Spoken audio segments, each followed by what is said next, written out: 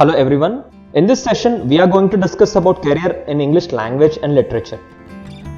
Coming to the introduction, if you're interested in English language and literature, it is a very good option to choose after your high school graduation because it not only provides you a wide range of job opportunities, but it gives you a very good understanding of the society. Language deals with grammatical aspects, sentence structuring, dialects, and everything else.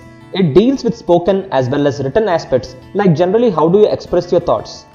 By writing or by speaking, isn't it? Now, literature, meanwhile, is usually drama, poetry, and theatre. It is generally the written form of people's thoughts which are considered to be everlasting. It is through literature by which the cultural and historical aspects are also preserved.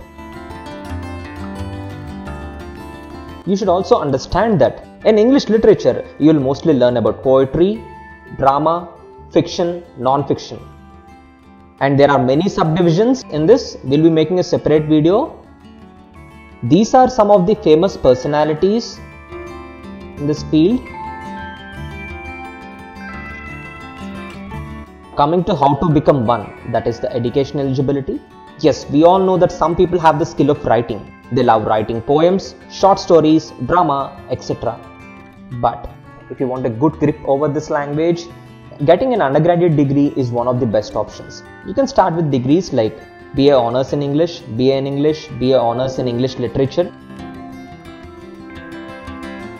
If you have good writing skills, good fluency over English language, then you can also go for mass communications. That is, there are some courses like BA English Literature and Communication Studies.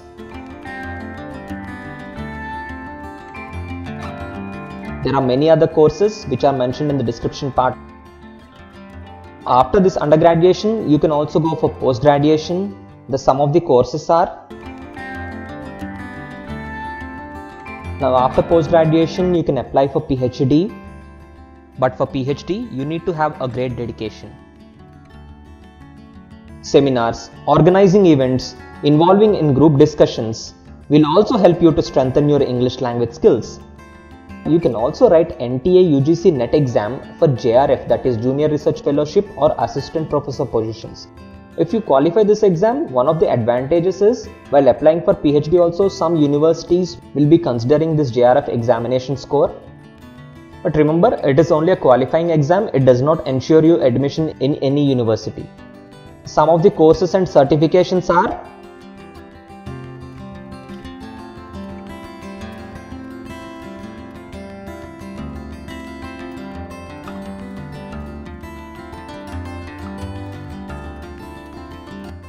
coming to the college list we have mentioned all the colleges list since it is a bigger one. We have mentioned it in the description part. So please do check the description part.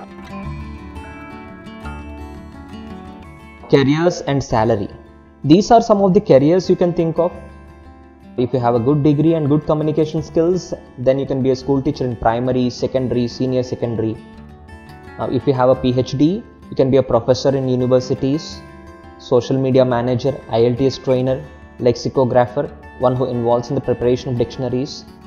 These are some of the wonderful career options. Coming to salary, for beginners it might range from 10,000 to 50,000 rupees. It depends on various factors like the type of job and where you're working. Because if you work in a small private school, your salary might start from 10,000, 15,000 or if you're working in a techno school or an international school, for beginners, your salary might start from 25,000, it might extend up to 50,000 also. Salary will increase with experience as we know. For professors who have 20-25 years experience, you might earn up to 2 lakhs per month. There are corporate trainers who are earning up to 3 lakhs per month. These are some of the skills developed by taking this career.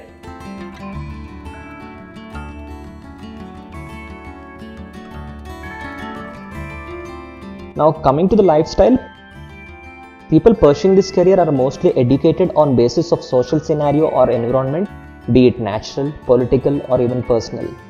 They require deep solitude to work. They are usually masters of their own self. We sometimes say people find peace in choosing and doing what they like. This career is something which not only gives you that, but it takes you closer to the people around you.